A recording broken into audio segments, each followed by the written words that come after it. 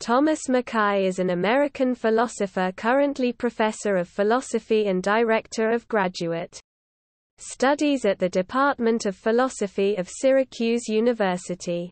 He was chairman of the department there from 1995 to 2002.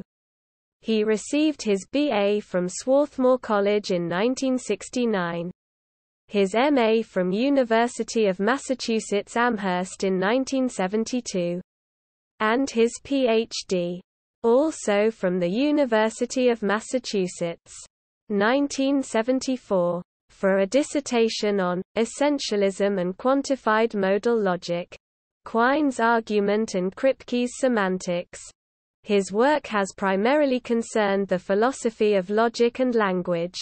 In 2006, Oxford University Press published his book, Plural Predicates A, in which he gives an account of a semantics for a plural logic. In particular he develops a Russellian account of plural definite descriptions. He is also the author of the following textbooks and the following journal articles. He also wrote the encyclopedia chapters on modal logic, philosophical issues, for the Routledge Encyclopedia of Philosophy, and propositional attitude reports, Stanford Encyclopedia of Philosophy. 2000. 2005.